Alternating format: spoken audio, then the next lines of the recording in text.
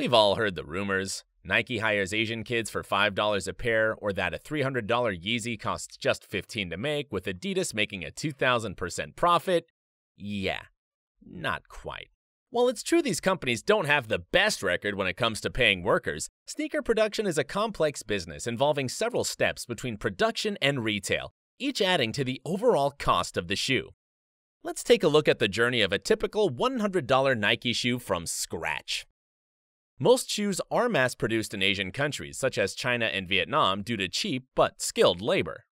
Factory production, which includes cost of raw material and labor, is outsourced to third parties. This comes around to $22 a shoe.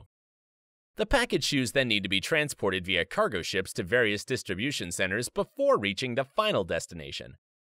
Several logistical costs are added up along the way, and import duty is to be paid on arrival. Apart from this, companies get their shoes insured against accidents at sea, like the time 60,000 Nike sneakers were lost in a storm. So, transportation, custom duty, insurance, and manufacturing total up to around $27. This is called the landed cost. But that doesn't paint the entire picture. Companies like Nike, Under Armour, and Adidas heavily promote their clothing lineups, investing billions of dollars in ads and endorsements every year. Apart from this, they run retail stores, pay employees, research new products, and of course, pay taxes. While it's difficult to precisely calculate the effect all these factors have on a single shoe, we can make good estimates using Nike's income statements and other publicly available information. According to Sole Review, they add up to around $18, bringing the total to 45. Still think that's a good margin? Well, there's another step before we're done. Most shoes aren't sold directly by the company, but via retail stores such as Foot Locker, which buy them for only half the retail price. So a $100 shoe will be sold to Foot Locker for just 50. Subtract all the earlier costs, and there you go. Nike makes a $5 profit on a $100 shoe.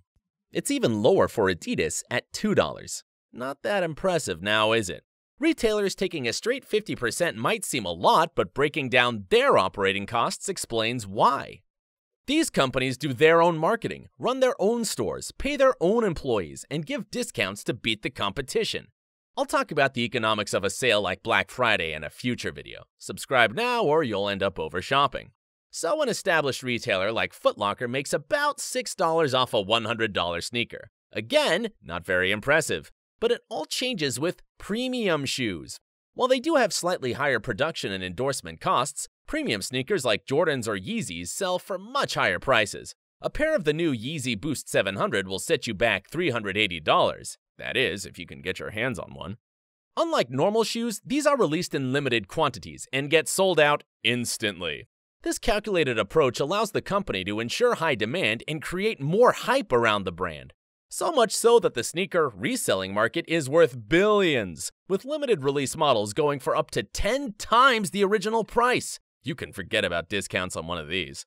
Naturally, the returns for these brands are high. Premium merchandise plus in store sales leaves a 46% margin for Nike, nine times that of a regular sneaker sold externally. Selling apparel online is another way to maximize profit.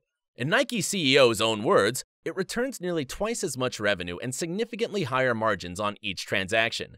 Adidas has begun shutting down physical shops in favor of its online stores as well. This shift to e commerce can mark the beginning of cheaper shoes and clothing in general.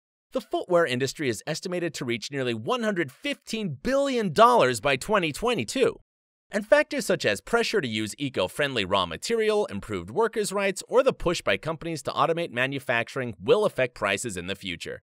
But like any generic premium brand, these $300 Yeezys are not getting cheaper, unless the sneaker bubble bursts, of course. Enjoyed the video? Subscribe and leave a comment. By the way, if you'd like to help me make better content, fill out the survey in the description.